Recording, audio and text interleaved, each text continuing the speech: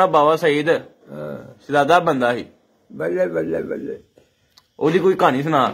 ਹਾਏ ਹਾਏ ਕੀ ਕਹਾਣੀ ਤੈਨੂੰ ਸੁਣਾਈਏ? ਉਹਦੀ ਕੀ ਤੈਨੂੰ ਕਹਾਣੀ ਸੁਣਾ ਮੈਂ? ਤਾਇਆ ਹੀ ਆਪਣਾ ਉਹ। ਬੜੀ ਦੂਰ ਅਪੜਿਆ ਸੀ। ਹੂੰ। ਉਹ ਬੜੀ ਦੂਰ ਸਾਨਾ ਨਾਲ ਸਾਨਾ ਨਾਲ ਅਪੜਿਆ ਸੀ ਸਾਨਾ ਨਾਲ ਸਾਨਾ ਕੋ ਕਾਬਲ ਲਿਖਦਾ ਸੀ। ਉੱਚੇ ਉੱਚੇ ਬੰਦੇ ਨੂੰ ਕੰਮ ਨਹੀਂ ਲੈਂਦਾ ਤਾਇਆ ਮੇਰਾ ਉਹਦਾ ਉਹ ਹੈ ਜੀ ਸਿਤਾਰੇ ਵਾਲਾ। ਉਹ ਕੋ ਜਵਾਨ ਕੰਮ ਖਾ ਜਾਂਦੇ ਸਨ ਹੂੰ ਹੂੰ। ਤੇ ਮਮੂ ਰਜ਼ਾਕ ਬਾਬਾ ਰਜ਼ਾਕ। ਆ ਬੱਲੇ ਜੋ ਉਹ ਜਿਉਂਦਾ ਰਹਿੰਦਾ ਤੇ ਉਹ ਉਹ ਉਹ ਜਿਉਂਦਾ ਰਹਿੰਦਾ ਨਾ। ਤੇ ਬਾਬੇ ਦੇ ਥਾਂ ਉਸ ਹੋ ਜਾਣਾ ਸੀ। ਹੂੰ।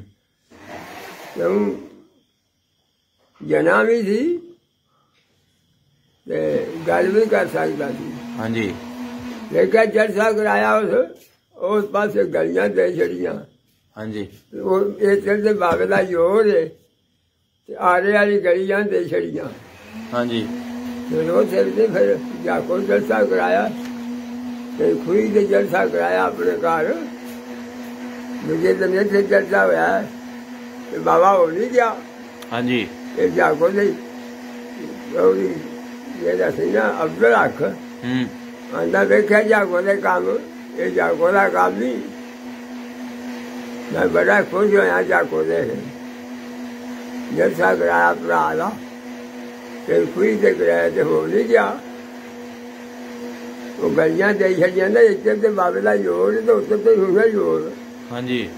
ਉਹ ਇਹ ਗੱਲ ਜੋ ਉਹਦੇ ਤੇ ਦੇ ਛੱਡੀ। ਤੇ ਫਿਰ ਜਾ ਕੋ ਕੰਮ ਫਿਰ ਕੀ ਵਿਖਾਇਆ।